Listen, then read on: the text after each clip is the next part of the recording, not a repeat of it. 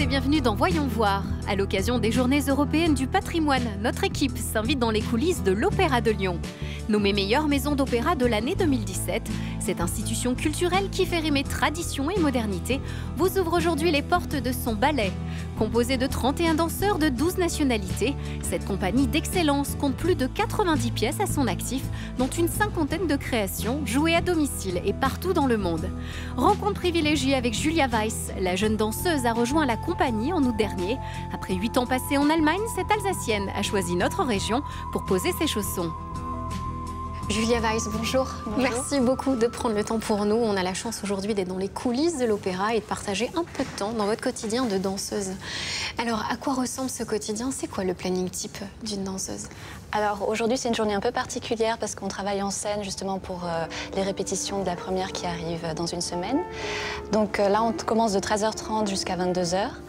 Euh, normalement, le planning type, c'est de 10h à 18h30 avec une pause d'une heure trente euh, à une heure et demie, justement. Donc, on, a, on commence par la classe qui est d'une heure et quart, où on s'échauffe. Euh, c'est plutôt de techniques classiques en général, à moins comme là où il y a un groupe qui travaille avec les répétiteurs de Trisha Brown, donc qui ont des classes particulières par rapport à cette technique.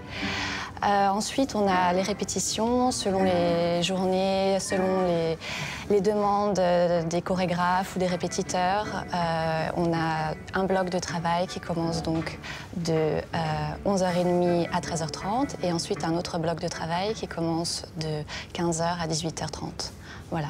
Donc une vraie euh, professionnelle en pause depuis quelques jours à l'Opéra de Lyon, mais la carrière a démarré il y a bien longtemps. Alors là, nouvelle aventure avec l'Opéra de Lyon.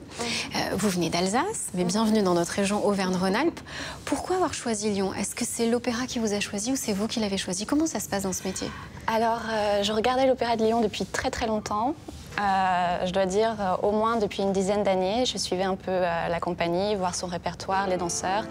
J'ai toujours été impressionnée par l'excellence du niveau de la compagnie. et la seule chose qui me retenait un peu, c'était le fait que la compagnie soit plutôt contemporaine. Et donc, j'avais encore envie de toucher à un répertoire classique. Et récemment, j'ai décidé que j'étais prête à à changer de page et à venir ici. Et puis sinon, la ville de Lyon, je la trouve tellement accueillante, euh, magnifique.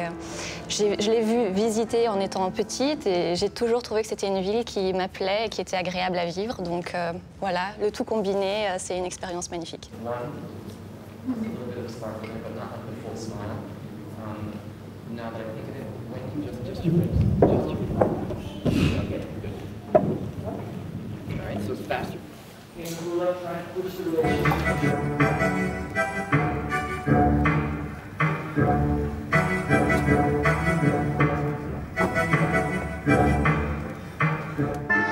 Alors justement, Julia, quand on est danseuse, est-ce qu'on peut avoir un peu de quotidien, se balader, profiter éventuellement de notre région? Est-ce que vous avez le temps?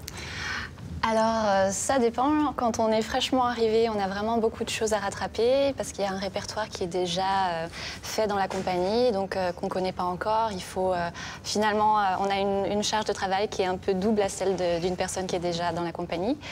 Donc, c'est vrai qu'on est vraiment concentré sur le travail, mais bon, à partir du moment où tout ce travail sera fait, j'imagine que j'aurai plus de temps pour visiter Lyon.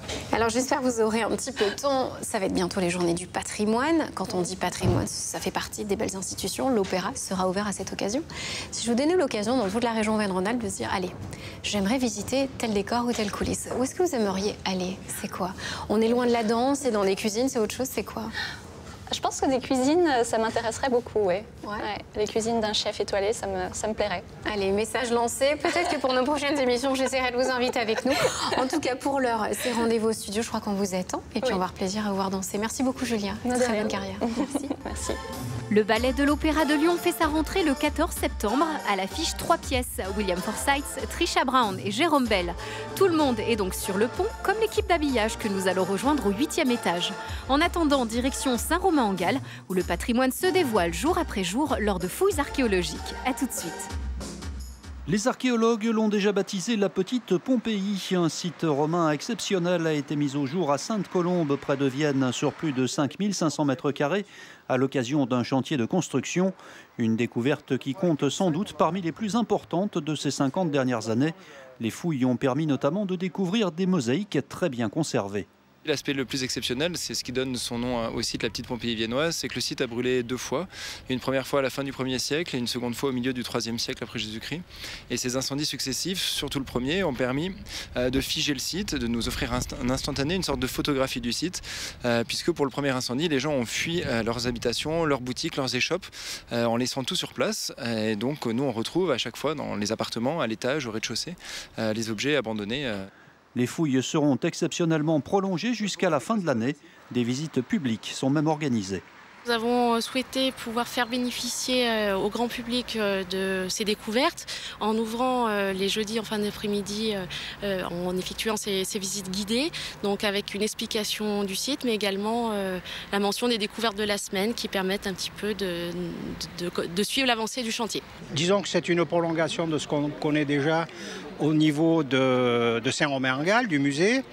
Euh, ce qui est intéressant quand même apparemment, c'est que les archéologues ont pu trouver quand même des pièces uniques au niveau des mosaïques. Les copains, ils avaient des jardins, là, ils venaient cultiver. Là. J'ai un bouliste qui joue là, avec moi, je vais lui dire, quand je vais rentrer euh, demain, je vais lui dire, mais dis donc, hein, tu sais pas ce que tu avais sous les pieds là, quand tu faisais ton jardin. Le site sera également présenté pour les Journées du patrimoine les 16 et 17 septembre prochains. Nous sommes de retour à Lyon au programme Les coulisses de son opéra. À l'heure où les danseurs travaillent leur technique, Chantal, habilleuse officielle du ballet, elle parfait la création sur mesure des costumes.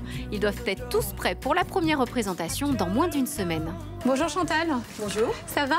Bien. Alors bon, ça s'active. Hein. Là, je vois, il y a pas mal de choses. Les danseurs sont en train de répéter. Et ici, qu'est-ce qui se passe? Alors, on est où? Alors là, on est sur euh, la dernière longueur. En fait, on va passer, on va, on est en train de finir les costumes. Euh, il y a eu une répétition hier en costume et il y a eu de la casse. Donc il faut réparer les costumes. Et euh, ce sont les costumes de Set and Reset. C'est une des trois, un des trois spectacles qui se produira la semaine prochaine. Mhm. Euh, donc voilà, on fait les réparations. Ensuite, on ira porter les costumes dans les loges pour les danseurs. Ils vont les mettre, ils vont les mettre et on va régler toutes les longueurs pour pas qu'ils marchent sur leurs costumes. Parce qu'il y a des costumes qui sont trop longs et euh, ça peut pas fonctionner. Donc c'est aussi sportif que les danseurs, à ce que je vois. Ah oui, oui, Alors ça fait combien de temps euh, que cette aventure a commencé, Chantal ici Alors moi, ça fait 10 ans que je suis à l'opéra, 10 ans que j'habille les danseurs du ballet. C'est-à-dire que je ne suis pas, je ne travaille pas avec le lyrique. Je travaille exclusivement avec les danseurs. Et quelle est la spécificité de ce travail? Pourquoi avoir fait ce choix-là? Alors, pourquoi avoir fait ce choix-là? C'est d'abord c'est un, poste à peu près unique. Et euh, je pars aussi en tournée avec les danseurs. C'est-à-dire que je travaille ici euh, quand on est en production ici. Je, donc je, leur donne les costumes à partir du moment où ils sont finis par l'atelier. Je gère les changements au plateau, je gère les changements en coulisses. Euh, on récupère tous les costumes quand le spectacle est fini. On les lave, on les repasse, on les retouche, on, redistribue à nouveau tous les costumes comme ça, voilà. Et à la fin de la production, on récupère tout et on part en tournée. On peut aller à Singapour, à Hong Kong, euh, à Taipei, voilà, en Asie on peut aller à New York, on peut aller euh, euh, à l'autre bout des États-Unis, on peut aller euh, au Brésil, on peut aller en Europe beaucoup aussi, et on peut faire aussi beaucoup de régions parisiennes. Alors c'est pas forcément toujours. Quand on voyage, quelle carte de visite les gens gardent en tête de l'Opéra de Lyon? Quelle image on a de cet Opéra de Lyon au-delà de ses frontières? En général, il est très bien coté. On, a une, on, nous accueille comme une grosse compagnie, comme une grande compagnie, et c'est une compagnie où les, les danseurs sont très très compétents. Ils ont un très très bon niveau. Donc, euh, il y, a une belle, y a une belle aura autour de, nos déplacements. Voilà, voilà. Comment elle est ta bretelle là? T'es bien? Euh, Est-ce que, est, que tu te sens bien toi? Oui, ça va. Bon, voilà. le petit surplus, il va dedans. Tu dois le retourner à l'envers, il va à l'intérieur. D'accord. Tac. Voilà. Comme ça, et puis toi, tu seras plus confortable, tu risques pas de perdre ta bretelle. Ok. C'est bizarre que ça twiste. Ça twiste C'est normal que ça twiste. Euh, ça twiste. C'est un vêtement qui doit tourner d'un quart de tour sur toi. D'accord. Voilà. Alors, on va aller sur scène et puis on va montrer euh, aux autres, euh, on va voir avec les autres, parce qu'il faut qu'on vous voie tout ensemble pour les longueurs. On y va? Allez.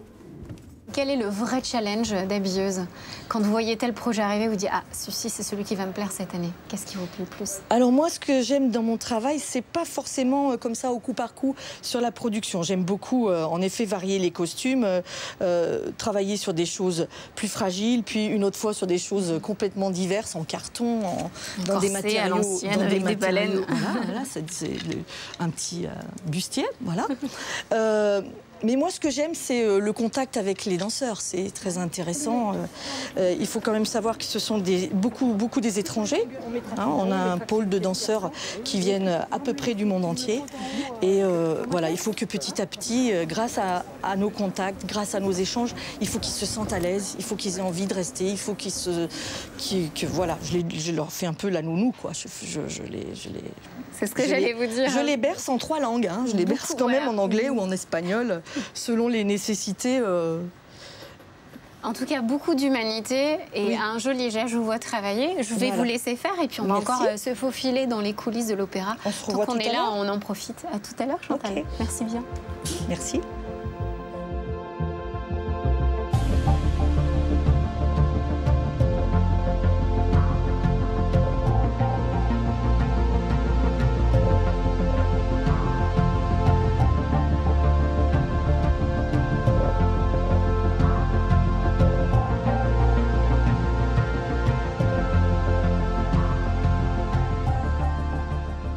Les artistes et techniciens de l'Opéra de Lyon, qui étaient durant l'année les portes ouvertes journée haut. Et ce week-end, profiter des Journées européennes du patrimoine pour visiter son bâti, rénové par Jean Nouvel, et celui bien sûr des nombreuses institutions culturelles et historiques de notre région. Le coup de cœur de Voyons Voir est pour le domaine de Randan, entre Vichy et Clermont, un site qui réunit patrimoine, faune et flore. Beau week-end